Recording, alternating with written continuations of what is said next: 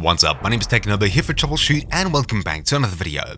In this quick video, I'll be showing you how to download and install Paper 1.19 to host a server for you and your friends. It's super simple, completely free to do, and as long as you have a relatively powerful computer, you can keep your server up 24-7 with lots of people, and it's pretty smooth. So to begin, in the description down below, you'll find a link to the PaperMC website. On this website over here, currently they have a bunch of red text saying these are early and may have issues, but these blue ones up here are pretty much fine. At the time of you clicking this in the future, more than likely everything will be blue here. We're simply looking for Paper 1.19, the latest releases of this server. On this page, all you need to do is click the one at the very top of the list here. For me, it's number 8, 1.19, and it's downloading to my computer.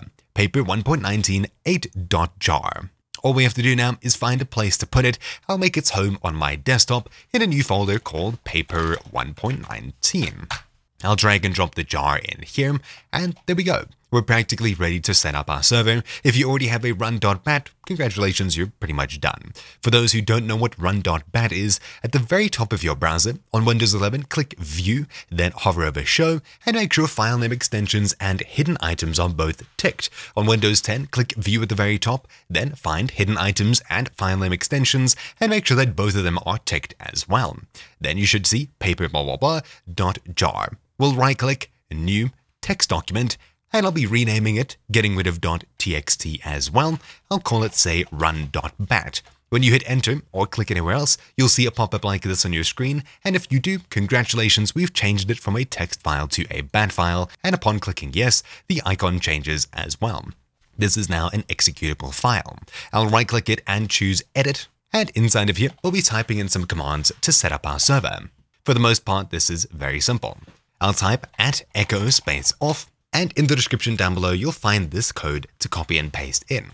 Java hyphen XMX 4G. That means a maximum of 4 gigabytes of RAM on our server. We'll get back there in just a moment. Space hyphen jar space followed by the jar's name, which in my case is paper 119 8.jar. If you update the jar file, you'll need to update this here, or you can simply rename the jar to be paper.jar and rename the file inside of your folder here. When these two match, we can continue. I'll add space hyphen no GUI as I don't like that big white window with the graph that pops up. Then on the next line, pause. In case it crashes, we'll see the error before the window disappears. Awesome. I'll save the file, and now let's talk about giving your RAM more server. It's defaulting to 4GB of maximum RAM, which is good for most people. If you'd like to give it more, no stress, and if you need to give it less, no stress as well. To find out how much RAM you can give your server, hold Ctrl Shift and press Escape to open up your Windows Task Manager, Mine looks a bit different as I'm on Windows 11, but essentially head across to the Graphs tab wherever that may be for you and to the Memory section as well. Essentially, we're looking for the available or free RAM on our computer and we'll be able to give Minecraft pretty much all of it, though you don't want to do that. Essentially, Windows is using some, as well as the programs running on it, but you like to keep some headroom for using a browser, playing the actual game itself, etc., and whatever you're left with after that estimation, we can give to the server, though do keep a couple of hundred megs to a gig of free RAM, just for everything to run smoothly in the background and nothing to run out of RAM, because that's when crashes happen. For example, if you have 16 gigs of RAM and Windows plus the normal Minecraft game uses 6, that leaves us with 10 gigs of free RAM on our computer. Essentially, I would be comfortable giving about 8 of them, leaving 2 for anything extra like web browsing, etc., and 8 to give to our server. So give it as much as possible whilst leaving yourself some headroom. That being said, because I have a ludicrous amount of RAM, I'll enter 8 in here, save, and close our .bat file. Now all we need to do is run the run.bat file, a black window will pop up, and this will start downloading some files and extracting files into the folder here. That's why I recommend moving this to its own folder. As you can see, I currently have Java 17 installed, but if when you run this command, things don't work properly, in the description down below you'll find a guide for jarfix, which is something that can help you with this issue. On top of this, you'll also need Java 17 downloaded and installed. You'll also find a guide for that linked down below. As you can see, we need to accept the EULA, so I'll press any key to close it. I'll open EULA.txt and I'll change it from false to true. Save, close, and run run.bat once more. Of course, we can customize server.properties, etc. just before we run our server, but for me, I'm comfortable leaving it as vanilla, just as an example. In the background, I'll fire up Minecraft so I can join my own server and show you what it looks like. While that's starting up, let's talk about installing plugins. To install plugins, simply open the plugins folder here, drop the jar files that you download from different plugins websites into here, and once we run our server or use a plugin manager to refresh our plugins, you'll see configs appear in the config folder that we can then customize. Awesome. So we have our paper server running. Let's go ahead and join it. So I'll tab into Minecraft 1.19, head across to multiplayer, direct connection, and in here I'll type in 127.0.0.1. You can also add your server. This is essentially localhost. If you're running it on the same computer that you're playing the game on, you'll be able to join your server, and as you can see, Techno has joined the game. There we go, we're now on my own Minecraft server.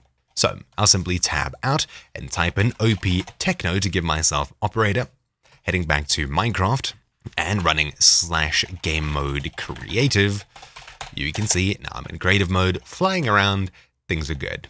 Awesome. So how exactly do we get friends to join our server and things like that? Let's talk about the firewall. This allows people to connect locally through the same network connection, or of course over the internet, assuming you've done port forwarding. Though we'll get to that later. Essentially, you'll need to open up the Windows firewall where we'll go ahead and add exceptions for our server to allow people to join our server on our computer unconditionally. If you're using a third-party antivirus with a firewall or third-party firewall software, you'll need to look up a guide on how to use that. But for me, I'll simply open up the Windows Firewall. I'll hit Start, type in Firewall, and I'll open Windows Defender Firewall with Advanced Security. If you don't see this and instead a settings window pops up, on the left-hand side you should see an Advanced button that'll take you to the screen here. Awesome. Now that we're here, you can see that I'm using a third-party antivirus firewall, so I'll need to do it through them, but I'll still do it here just to give you an example.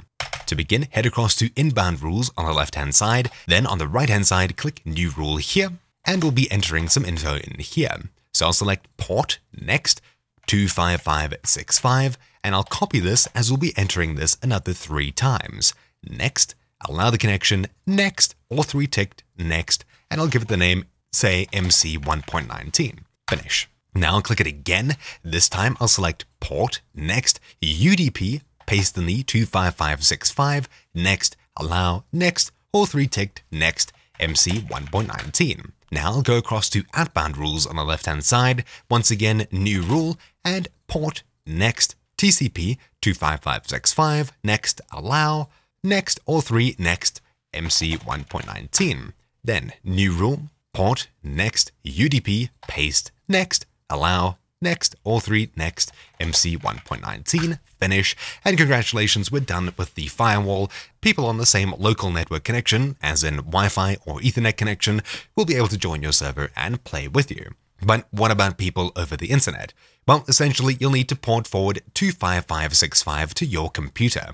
In the description down below, you'll find a complete guide for port forwarding to your computer, and it's relatively simple. Hold down Start and press R to bring up the Run dialog, type in CMD and hit Enter. I'll then enter ipconfig, hit Enter once more, and look for the way that I'm connected to the internet. For me, it's Ethernet adapter, Ethernet, and as you can see, IPv4 192.168.1.20. This is the address that friends on the same local network will use to connect to me, and for port forwarding, I'll port forward 25565 on my router to this address here. Note that if you're using multiple routers, as in your PC, a wireless router, another router, and then to the internet, you'll need to follow the multi-router port forwarding guide in the description down below.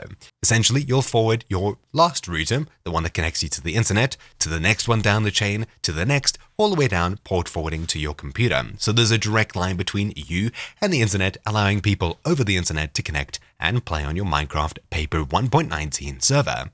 And with that comes the end of this video. To save your server, type save hyphen all and hit enter. Then to stop it, type stop and hit enter. Our server will then save once more and close out. Press any key to stop it, and now the server is shut down and not taking up any of your resources, though none of your friends can join either. You need to run run.bat in order for anyone to play on your server, as you're hosting it locally on your own computer.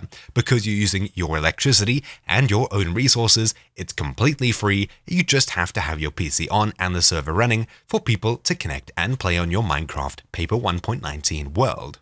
Anyways, in the description down below, you'll find a ton of Minecraft 119 guides and related guides. Thank you all for watching. My name's been TroubleChute, and I'll see you all next time. Ciao.